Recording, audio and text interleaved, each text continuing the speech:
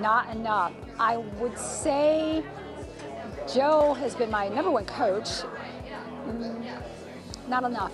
Maybe 20?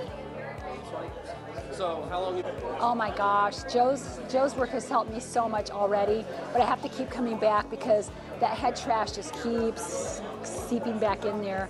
So I've got to have that reiteration every day with his messages. Coming to these events and learning more about the Mayos too um, helps me every time I come, every time I listen to it. It just helps me stay on focus with the things I need to do and the things I need to get rid of. Oh, I love Coach Joe.